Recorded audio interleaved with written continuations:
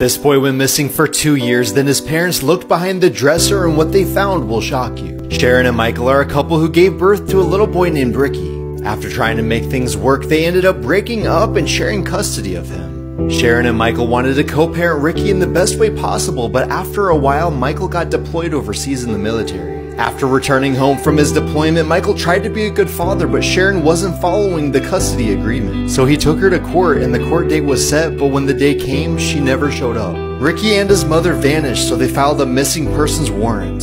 Police searched Sharon's mother's house, but they found absolutely nothing. More than two years had passed and Michael was still eager to find his son Ricky, so he had the police research the house. This time, police found a dresser that looked like it had been moved because it had marks on the floor. The officers moved the dresser to get a better look at what was behind it and what they found will shock you. Part 2 is already posted.